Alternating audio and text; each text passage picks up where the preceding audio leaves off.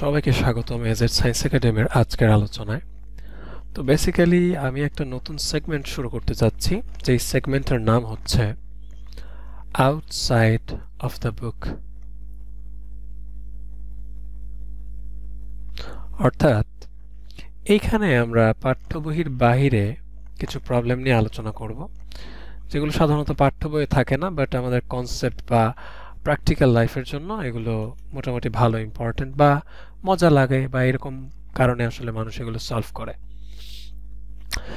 তো সেরকম একটা প্রবলেম আজকে আমরা দেখব।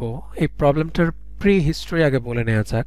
এটা হচ্ছে উনিশশো পঁচানব্বই থেকে ছিয়ানব্বই সালের দিকের ঘটনা। বিশ্বের বিভিন্ন দেশ থেকে, প্রায় ষোলোটা দেশ থেকে অ্যাডভান্স ম্যাথমেটিক্সের স্টুডেন্টরা একটা প্রতিযোগিতায় অংশগ্রহণ করেছিল। তো সেইখানে, সেই প্রতিযোগিতাটাতে এই প্রবলেমটা দেয়া হয়। তো যখন খাতাগুলো বা স্ক্রিপ্টগুলো চেক করা হয়েছে, দেখা গেছে যে এত স্টুডেন্টের মাঝে অনলি টেন পার্সেন্ট স্টুডেন্ট আসলে এই প্রবলেমটা সলভ করতে পেরেছিল এবং এটা ওয়ান অফ দ্য বলা যায় ওই এক্সামের জন্য এটা খুবই টাফ একটা প্রবলেম ছিল। তো আজকে আমরা বেসিক্যালি এই প্রবলেমটা নিয়ে আলোচনা করব এবং দেখব কীভাবে এটা সলভ করা যায়। তো প্রথমে আমি কোশ্চেনটা এলাবোরেটলি এক্সপ্লেন করব, আসলে কোশ্চেনটাতে কি চাওয়া হচ্ছে। দেন আমরা সলিউশন প্রসিজার যাব। আচ্ছা তো এখানে যদি আমি তাকাই যে বলা হচ্ছে string is own symmetrically around a circular rod. এখানে একটা সার্কুলার রড আছে সবুজ, আর এই সবুজ রডটার চারপাশে এই কালো তারটা পেঁচানো আছে।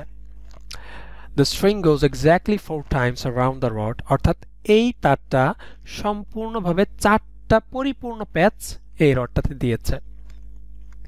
The rod has a circumference of 4 and a length of 12.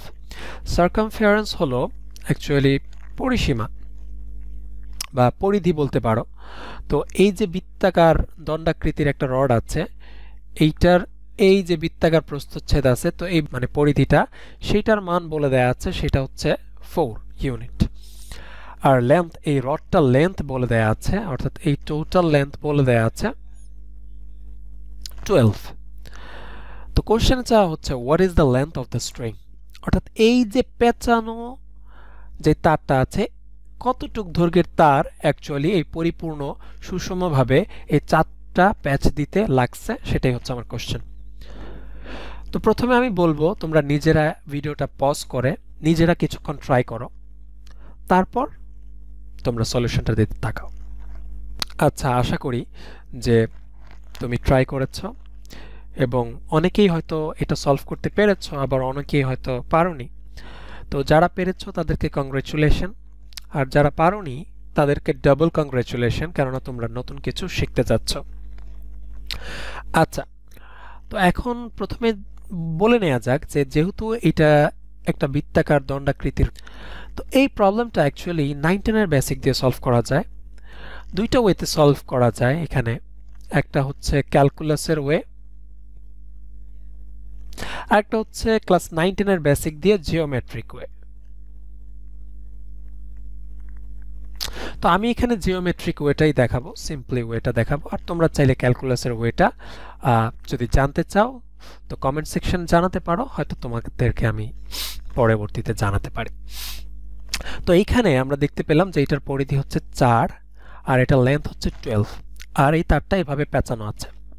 Just simply একটা ইনটিউশন চিন্তা করো, এই সিলিন্ডারটাকে যদি আমি একটা পাশ দিয়ে এভাবে এভাবে কেটে ফেলি, কি হবে? এভাবে এভাবে যদি আমি একটা পাশ দিয়ে এটাকে কেটে ফেলি একটা পাশে এবং এটার ভাঁজ যদি খুলে ফেলি তাহলে দেখতে, খেয়াল করে দেখো, সম্পূর্ণভাবে এটা একটা এরকম পৃষ্ঠের মতো পরিণত হবে। খেয়াল করে দেখো, এতটুক লেন্থ কি ছিল? এতক্ষণ বৃত্তাকার পরিধির ভাজে ছিল। যেটা ছিল কি? আমার বৃত্তাকার অংশের বৃত্তের পরিধি, যেটার দৈর্ঘ্য কি? চার। আর আমার এই টোটাল লেন্থটা বলে দেয়া আছে, সেটা কি? টুয়েলভ তো খেয়াল করে দেখো, এই কালো অংশগুলোই কি আমার তার, তাই না? আর এইখানে এই টোটাল বারো লেন্থটাকে চারটা সমান ভাগে ভাগ করা হয়েছে এই তার দিয়ে। তার মানে প্রতিটা লেন্থের দৈর্ঘ্য হলো কি? Twelve divided by four is equal to three অর্থাৎ থ্রি করে। প্রতিটা থ্রি থ্রি করে। তাহলে খেয়াল করে দেখো, এখানে একটা পিথাগোরাসের উপপাদ্য যদি অ্যাপ্লাই করি সমকোণী ত্রিভুজের জন্য চার তিন, তাহলে এটা অ্যাকচুয়ালি কত থাকে? চারের স্কোয়ার প্লাস তিনের স্কোয়ার এটাকে করতে হবে root which is equal to five তাহলে খেয়াল করে দেখো, এই তারটার দৈর্ঘ্য পাঁচ, এরকম চারটা পোর্শন আছে তারের, তো আমার টোটাল তারের দৈর্ঘ্য হবে four into five is equal to twenty unit তার মানে এই প্রবলেমটার সলিউশন হচ্ছে এই টোটাল তারের লেন্থটা হবে টোয়েন্টি ইউনিট এটাই হচ্ছে আমার প্রবলেমটার সলিউশন তো আশা করি তোমরা প্রবলেমটার সলিউশনটা বুঝতে পেরেছ। খুবই সহজ ছিল প্রবলেমটা বাট চিন্তার ডেপথটা যদি একটু গভীর না হয়, তাহলে আসলে এটা করাটা একটু টাফ হবে। কেননা খেয়াল করে দেখো, যেরকম শেপে ছিল, তুমি ওই রকম শেপে সহজে এটা করতে পারছিলে না, তাই শেপটাকে একটু মডিফাই করে খুব সহজেই এই প্রবলেমটা সলভ করা গেল। তো সবাইকে ধন্যবাদ এতক্ষণ সাথে থাকার জন্য। যদি ভালো লেগে থাকে সাবস্ক্রাইব করো কমেন্টে জানাও এবং চ্যানেলের পাশে থাকো। সবাইকে ধন্যবাদ এবং কমেন্টে জানাতে ভুলবে না যে এই রকম ভিডিও আরও চাও কি না বা এই আউটসাইড অফ বুক এই সিরিজটা আমি কন্টিনিউ করব কিনা? সবাইকে ধন্যবাদ।